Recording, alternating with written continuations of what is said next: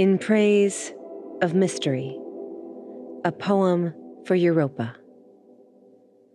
Arching under the night sky, inky with black expansiveness, we point to the planets we know. We pin quick wishes on stars. From Earth, we read the sky as if it is an unerring book of the universe, expert and evident Still, there are mysteries below our sky. The whale song, the songbird singing its call in the bough of a wind shaken tree. We are creatures of constant awe, curious at beauty, at leaf and blossom, at grief and pleasure, sun and shadow.